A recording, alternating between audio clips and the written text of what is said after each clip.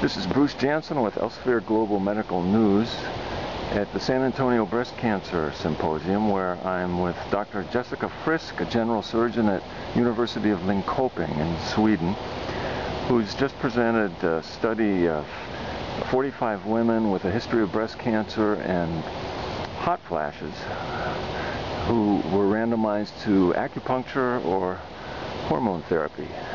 Dr. Frisk, tell us what you found. Well, it's really interesting because you know from before that the hot going to disappear with the hormone therapy, but with acupuncture we could actually decrease the number of flushes and stress by flushes with half, and that is after 12 weeks of acupuncture.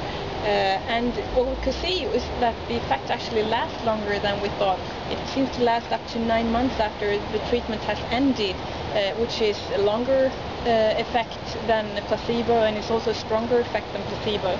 And we don't think it's time that does this to the flushes because some of these women have had hot flushes for 20 years and then after four weeks of treatment the flushes has decreased to half number. So um, it's a decrease that is the same amount as uh, for the SSRIs like Effexor and those medications. But without any of those side effects? Without the side effects, yeah.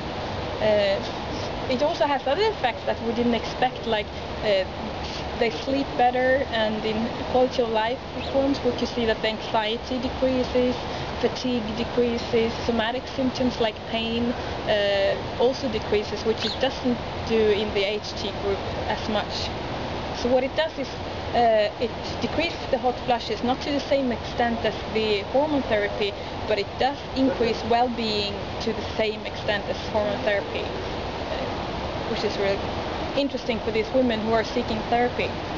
And uh, there are a lot of women seeking such therapy, yes? Yeah, and it's increasing number of women as well because now with all these new medications, they tend to live longer, uh, and with the treatment, they actually have hotter, more flushes and uh, more disturbing flushes than just healthy menopausal women. So there's an increasing need for alternative therapies for the hot flushes. Do you have a uh, do you have a concept of what the mechanism of uh, benefit is? We have ideas, and there are ideas uh, and theories. Uh, we do know that acupuncture does increase the endorphins cerebrally, uh, and it also increases serotonin uh, in the brain, at least in animal studies. Uh, so we do think that the endorphins and the serotonin uh, stabilize the thermoregulatory center, which is next to the hypothalamus, and in that way actually makes you less sensitive for the hot flushes. We do know that there are some vasodilating uh, peptides, neuropeptides, uh, certainly one that's called CGRP, that we, do, that we do decrease at the same time as we give the acupuncture.